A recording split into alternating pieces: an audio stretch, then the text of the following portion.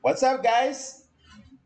We need to understand the NFT situation. I do not understand it fully, and this is why I'm creating this video. I'm trying to get to the bottom of it, like see what is that about, and we're gonna talk about this video right here and see, like, because you know, I don't know if you see that everything, all the millionaires that that that that they become billionaires, they jumped in on the right time. A lot of people are telling us, yo, right now is the best time to jump into the NFT world. We don't know where that world's gonna go. For me, this is the way I look at the, the world moving forward. The world's gonna be totally digital. We the digital world and the real world is gonna be it's it, they're gonna have transactions, they're gonna kind of become similar. Like I truly believe that, and we're gonna create a digital version of ourselves. That, that's a that's this is the world that I'm dreaming of a world where I have a digital being on a, on online on the internet that goes out and work for me and and does jobs and get paid and bring me the money.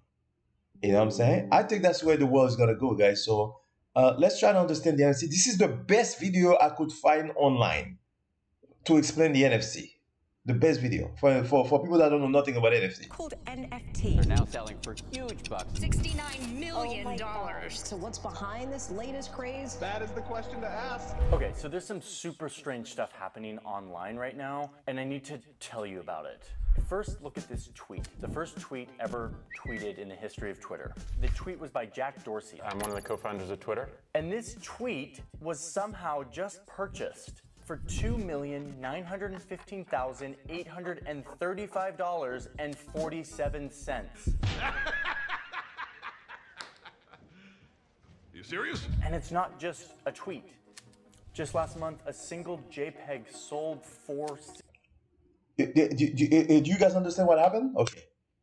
So when the company Twitter was founded, Jack Dorsey put out the first tweet. He was the, the founder of Twitter, put out the first tweet that tweet that was put out to create this big company has because that's the only one tweet that can be like that had a value. Because there's only one tweet like that. So somebody was able to purchase that tweet.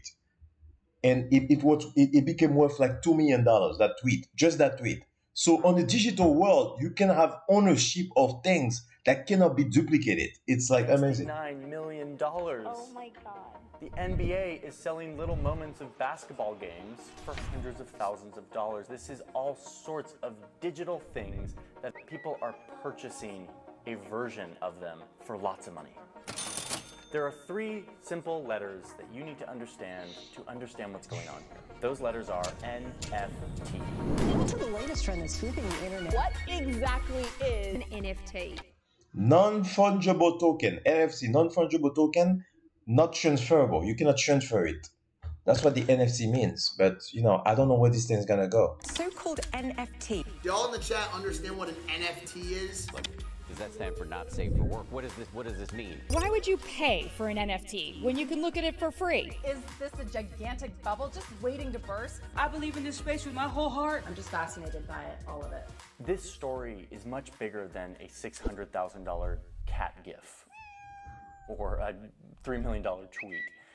It's a story about human psychology and how the way we value things is shifting because of technology. A technology that some people think may revolutionize our society, while at the same time accelerating the climate disaster. It's really nuts. It's all of these things together, and I want to explain it to you. So let's do this.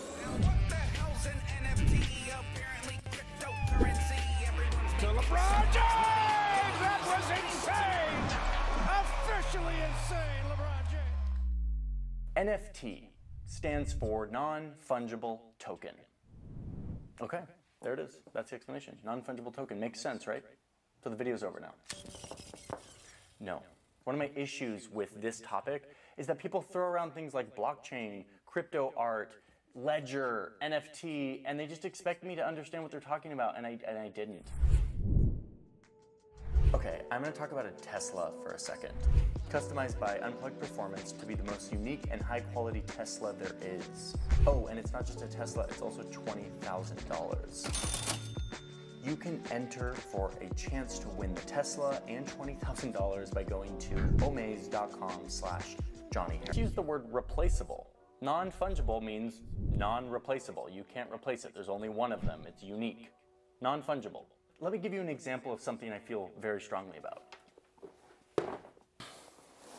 Let's say you want to buy an orange jacket. This is really absurd. I've actually never counted these before. Um, Stop it. Get some help. you want to buy an orange jacket from Uniqlo. You go on the internet and a jacket costs $39. If you purchase one of these jackets for $39, you don't care what specific jacket they send to you. They're going to make thousands of jackets in your size, send them to stores, send them to people, and they will send one to you. You don't care which one it is. The jacket is fungible, it's replaceable. As long as you get one that's identical to the rest, it's worth the same to you. They're interchangeable. However, let's talk about one Uniqlo orange jacket that has been with me for a very long time. This is the original, and for those of you who don't know, I sort of have a strange attachment to this jacket. I just love it. I love the color. I like feel like an identity with this thing. And it's sort of starting to disintegrate, but I love it. And I kind of fell in love. This jacket is not replaceable. If I went onto the website and paid $39 for a Uniqlo orange jacket that was this exact same model, it would not be this jacket. This jacket is non fungible. It is the only one on the planet that exists. It has emotional value, it has significance. It is a very valuable thing because it is scarce. There's only one of them. You guys get it? It's not replaceable. It's not fungible. It's kind of like uh, I don't know. The best way maybe is copyright. It's like you cannot just copy it. Like, but it's it creates. So you know that scarcity, right? The whole thing. This whole thing started with the cryptos. You know that scarcity creates increase the value, right? So let's say you have the tweet of Jack Dorsey, and you can have it like in a digital way where this is the original tweet of Jack Dorsey, and you own that tweet. And all the other tweets are not real. This is the real tweet of Jack Dorsey or whatever. The, the money that can be given to that is gonna be like unbelievable because there's only one tweet. That when Jack Dorsey tweeted that thing, it was him that tweeted it. It wasn't like somebody else. You know what I'm saying? So uh, when or anything like that, you know. So with the digital world that's going on right now, there's something called the blockchain, which the blockchain makes sure that you cannot copy it or commit fraud, and it's amazing. And that creates and that increases the value of whatever it is. It's valuable to me at least. And I kind of fell in love. Okay, we can put these down for a second. Everything in our economy is one or the other, fungible or non fungible. A sack of rice is fungible. You just want a sack of rice, you don't care which one it is. The Mona Lisa, non fungible. There's only one. Unsurprisingly, non fungible things are way more valuable than fungible things. So that's the NF in NFT, non fungible. Now let's talk about the T, which is token. This is a very internety word. And to explain this, I have to explain something I have avoided explaining for a very long time the blockchain. Luckily, there's a way to understand this, and I'm going to make it as painless as possible. Let's say I want to buy three slices of pizza from my friend Anna. She charges me $6 for these three slices. I don't use cash anymore, so I pull out my debit card, my bank card, and Okay, so I'm gonna I'm gonna go into the blockchain in the next video. I'm gonna like uh, let me see. Ah, no, I, I think I think I can keep, I can do it here right now. Let's let's just keep doing it. Let's go. and I swipe on her little terminal. As soon as I swipe this card, a message is sent to my bank. And it says, hey, Johnny, who has an account at your bank, wants to spend $6 on pizza. And that money needs to go to Anna's bank. This is like the bread and butter of what a bank does all day. They document every transaction that comes in from all their customers, they send out money to the other banks, and at the end of the day, they have a tally of all the money that went out of your account and into your account, and they can give you a number. They can say, based on all of these transactions, you have $50 in your bank account. And so when that request comes in, as I swipe my card, my bank is like, okay, so based on all of your transactions, you have $50 in your account. I can send $6 to Anna's bank, approved, and they approve the transaction. Once that money comes into Anna's bank, Anna's bank is doing the same thing. They're like, oh, cool, she had $80 and now she has 86, and they add it to her record. More and more, your money is just a number on a screen. It's the result of a bunch of transactions. That yo, this is factual, right? The stuff, the money that you own, everything is in the digital, in the network. You don't see it anymore as before. You don't barter with physical things and you don't use cash as much. So the bank keeping meticulous records of every transaction becomes really important. We trust the bank to do this correctly. So thank you, banks. Banks and other middlemen have been keeping stuff like this running smoothly for centuries. I mean, kind of smoothly. The NASDAQ, everything and more was has been the completely worst wiped day out. on Wall Street. What in the world is happening on Wall Street? There have been a few bumps in the road. With the rise of the internet, people started to wonder is there a way that we could do this same thing, coordinate this transaction of transfer of money between two people without the bank? The result is a very clever concept called the blockchain. The blockchain fulfills the same thing the bank was doing. But instead of doing this privately on my bank account and talking to Anna's bank, all of the transactions are actually recorded publicly on the internet. You're going surfing on the internet. That's amazing, right? The blockchain is a ledger that everything's recorded on, on the internet and it's public. So any fraud that occurs, everybody's gonna see what happened. So let's redo this example in a crypto world. Anna charges me six crypto coins for my three slices of pizza. I go to swipe my proverbial bank card to say, yes, I want to pay you six coins. Instead of the bank seeing that request for a transaction and trying to validate it, it goes on to this public record where a bunch of people's computers all around the world are keeping track of every single transaction of everyone, always. If I don't indeed have the six coins in my account to pay Anna, all of the people's computers who are keeping track of every single transaction will notice that there's a discrepancy. They'll be like, whoa, whoa, whoa, dude, you don't have six coins. We're looking at every transaction ever and you don't have six coins. Your transaction is rejected. If I do have six coins, all of the computers looking at the public record will see that request for a transaction and they'll be like, yep, approved. You have six coins and now Anna has six coins, and they'll write that transaction into the public record. Now, Anna having those six extra coins is now the business of everybody. Everybody now knows that. The point here is that the group verifies the legitimacy of every transaction by keeping an eye on every transaction to make sure that it adds up. Okay, I'm getting hot at this point, so I'm taking off my orange jacket. Okay, so you're wondering, what does the blockchain and this public record have anything to do with cat gifts that sell for $600,000? Well, I'm about to tell you. So, in my pizza example, we talked about blockchain as a way to verify currency transaction. I pay you this much, you pay me this much, and everybody knows how much everybody has because it's all public. But this is where it starts to bend my mind a little bit. What if we apply this to something that isn't money or currency?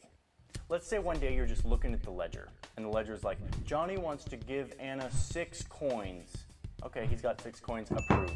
And then a transaction comes up that's like, a Malaysian businessman wants to give $3 million worth of coins to Jack Dorsey in exchange for a little token or digital certificate that says that the tweet is now somehow owned by the Malaysian businessman. The only thing that the blockchain cares about is does the Malaysian businessman have $3 million worth of coins? And so a bunch of computers all around the world look at the whole entire list of transactions and say, like, yeah, this guy has more than $3 million worth of coins. Approved. They approve the transaction. And now it is written in a public record that is unalterable that says that this Malaysian businessman owns this tweet. The token has been transferred to somebody new. Non fungible token, NFT. And if there's anything that gets human psychology to value something, it's if an entire group validates that it's real and that there's only one of them. There are tens of thousands of NFTs of all kinds. Some music is being given tokens. Lots of art is being minted as tokens and being bought and sold. And then, of course, there's uh, NBA Top Shot. Who's taking advantage of this? These highlight moments, these top shot moments from your favorite NBA players have been turned into non fungible tokens. Jesse made headlines the other day when he paid $208,000 for LeBron James Top Shot. Uh, it's the weirdest thing. As soon as humans have enough abundance and have their basic needs met, food, shelter, warmth, etc. The next frontier is to create value in things that have no inherent value. The value turns into psychological hype, excitement around a certain thing. We've been doing that forever. I mean, that's the whole art industry is based on the idea of a bunch of people deciding that this painting, this little bit of canvas and wood and paint is valuable and thus it is valuable. The only difference about now is we now have the technology to do this in a non-physical way using this very sophisticated internet technology that is maturing very quickly. Okay, so this is a lot of hype and I know you're probably thinking like, cool, there's a bunch of rich people online buying and trading digital art and there's millions of dollars worth of cards. I thought you said that this was going to have the potential to change the world. And I'm getting there, but first I need to talk about the crazy flip side to the NFT fad. The reality is that the technology that is the backbone for all of this, the, the, blockchain stuff that we've been talking about, relies on the public ledger thing that I talked about. Like that is the sort of heart and soul conceptually, but mechanically, like physically, what it relies on is computers doing a bunch of little calculations all day and night forever. These computers aren't real computers. They don't have any memory or screens or anything. They, all they do is just make little micro calculations all day, all night. Most NFTs are stored on a blockchain called Ethereum. And as of now, in early April 2021, when I'm filming this, the Ethereum blockchain is using 33 terawatt hours of electricity. And you're like, what's a terawatt hour of electricity? That's the same amount of power as the country of Serbia. A reminder that generating electricity usually comes from power plants that are burning fossil fuels, that are putting carbon into the atmosphere, which is a big freaking problem. Okay, I'm gonna stop it here. Guys, there's always a negative in every positive, and we need to think about this the environment. Um, so that's the problem. The mining, the, the all those mining of uh, of cryptos or like this whole thing about the blockchain calculating, keeping track of the ledger require a lot of computer power, and that computer power uses a lot of electricity. And in order to create electricity, we use fossil fuels and, and a lot of things that goes back into the atmosphere. So maybe we need to find a, energy efficient way to, to to create electricity. We need electricity in the world. I don't know which way. We need another way. I wish we could create electricity with water, just water. I don't know. But that's why I wanted to keep you. I'm going to keep uh, writing more videos about this and we can talk about this more. Thank you guys. Subscribe to my channel. We, we need to understand the the uh, uh, everything about NFTs, like you know, so that we can make wise decision. We're gonna, you know, and I'm gonna be talking to. I'm gonna see if I can be talking to like a couple of NFT experts, so I can bring it to you guys. Thank you.